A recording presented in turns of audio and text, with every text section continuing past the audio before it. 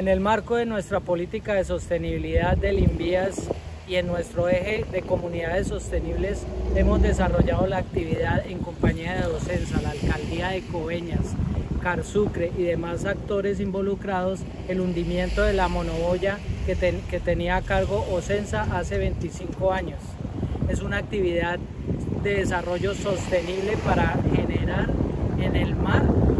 ecosistemas que sirvan para la comunidad pesquera de la zona del Golfo de Morrosquillo.